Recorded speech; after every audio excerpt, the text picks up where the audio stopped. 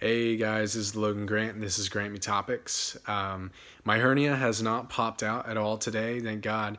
Um, also, I want to share a tip uh, that was inspired by some comments that I was getting about um, stomach vacuums and um, the Cremaster muscle.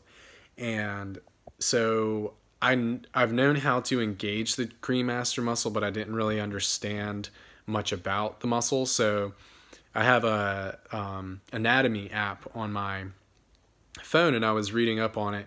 And um, the cremaster muscle is one of the muscles that surrounds the testicles, and it um, it's actually an inferior extension of the internal oblique.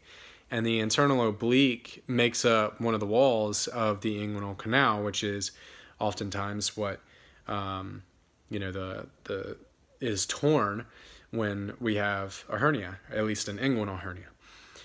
Um, so anyway, I will just demonstrate how I engage that because engaging the cremaster muscle helps um, engage, helps like really target the area of the hernia when doing stomach vacuums and exercising the um, transversus abdominis.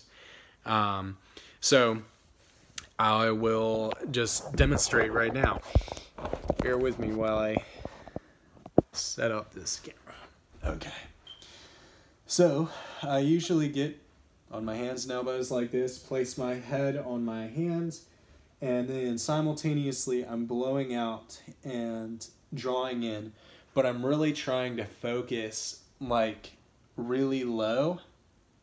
Um, I mean, really, like the uh, inguinal canal is right here. So that's kind of what I'm trying to target. But I'm also at the same time focusing on like drawing my testicles up.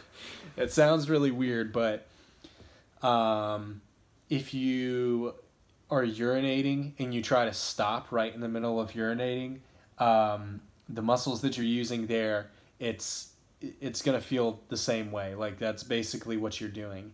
Um, you're just not urinating, of course. Um, so here it goes.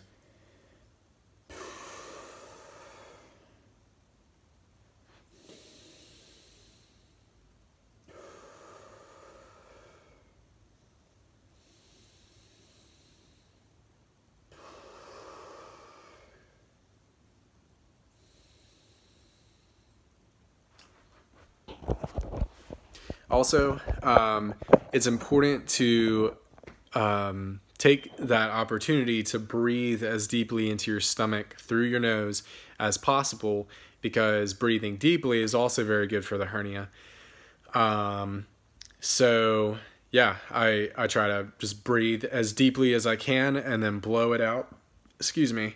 Um, and this can also be done on your back. Um, I find it easier to engage those muscles when I'm uh, when my knees are bent. Um, so whether that is me on my back or my stomach, um, I try to keep my knees bent. And same concept. Um, I would say, you know, try it either way. I do both. Um, I think they each have their benefits, and I think it's good to try uh, multiple different types of stomach vacuums to just you know hit it in different ways, and and maybe some work better um, than others, and everybody's different. So um, you know one version may work better for you. Um, anyway, I hope this helps. Shalom.